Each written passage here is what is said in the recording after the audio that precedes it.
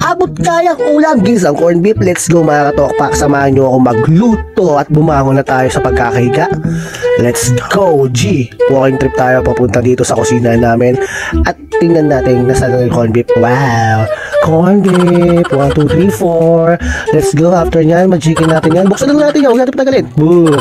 Wow! Amazing! 1, 2, 3, 4 Look at mga katokpaks Bilang bilangin natin yan.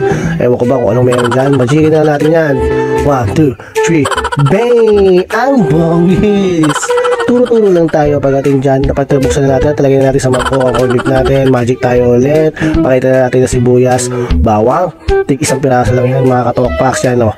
Bawang, sibuyas. Sibuyas, bawang After nyan, magikin natin yan 1, 2, 3, 4 Magic. Wow, amazing mga katokpaks Dahil nakapaghiwala tayo ng sibuyas bawang. At na-magic na natin yan. Buksan na natin ang ating kalan Lagyan na natin ang kawali. At natin lagyan ng kawali. Buksan na natin ang mantika.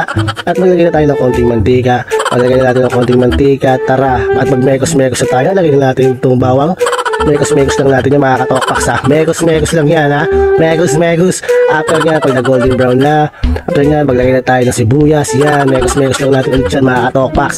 Alam naman nyo, alam nyo naman to paano gawin mga katokpaks. Hindi ko na pare paliwanag ko sa inyo. After nyan, tara, lagyan natin yung corn beef. Yan, dali.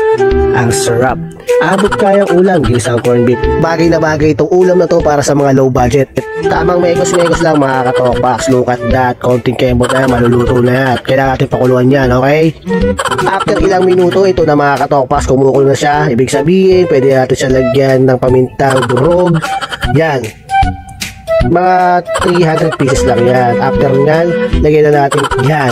200 pieces na puting bato. Puting bato, ano daw mga katokpaks yan? Sabi opa. At ayun na mga topax, naglagay na tayo ng paminta, asin. Ngayon, haluin lang natin to para ma-absorb niya yung mga nilagay natin. After niyan, after na paggulo, lagyan natin tong itlog, itlog mo, itlog ng kapitbahay nyo, itlog ng kahit na kanino, basta ilagay nyo lang yan dito.